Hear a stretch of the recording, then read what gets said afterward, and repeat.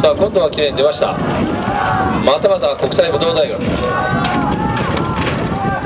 道大学は増野君という選手がですね日本選手権で優勝しましたからね、えー、非常に層の厚い国際武道大学であります、えー、関東インカレが確か1位同着着差なしの1位。